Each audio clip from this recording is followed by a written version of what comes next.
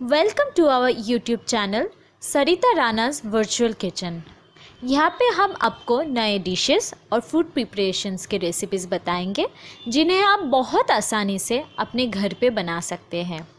अगर आप हमारे चैनल को सब्सक्राइब करना चाहते हैं तो प्लीज़ सब्सक्राइब बटन पे क्लिक करें और अगर आप नए वीडियोस के नोटिफिकेशंस चाहते हैं तो बेल आइकन पे क्लिक कीजिए।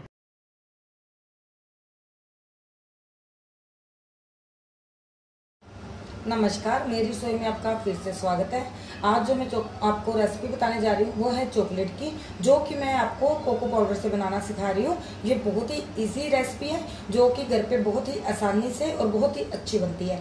सबसे पहले मैंने क्या किया है, सबसे पहले मैंने एक बर्तन के अंदर पानी को गर्म किया है, उसके ऊपर एक मैंने खाली बर्तन को लगा के रखा हुआ है।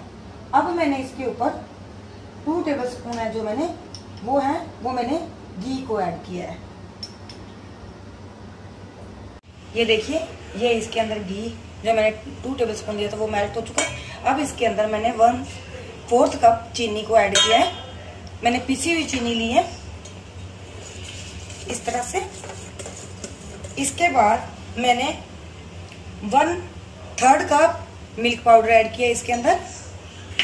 और इन दोनों को अच्छी तरह से मिक्स कर लिया है।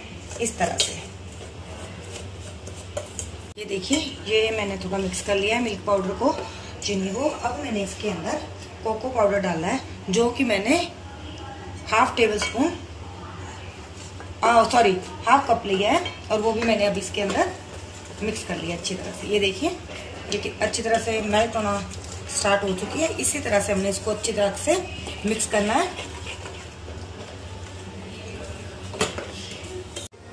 ये हमारा चॉकलेट का बैटर रेडी हो चुका है। जितना हमें पतला चाहिए, उसके अकॉर्डिंग ये बहुत ही अच्छा बना है। अब हमने गैस को बंद कर देना है इसको उतार लेना है। ये देखिए, ये अच्छी तरह से रेडी हो गया। अब मैंने इसके अंदर ड्राई फ्रूट डाले हैं। ये मैंने बादाम और काजू को बरीक काट लिया था और इसके अंदर डाल लिया है। इस तरह से इनको मिक्स कर लिया और ये चॉकलेट मोल्ड है, जो कि आपको बहुत ही इजीली बेकरी की दुकान से मिल जाता है। तो अब हमने इसके अंदर डालना है और अपनी चॉकलेट रेडी करनी है। अब मैंने इसको चॉकलेट मोल्ड के अंदर डालना है इस तरीके से।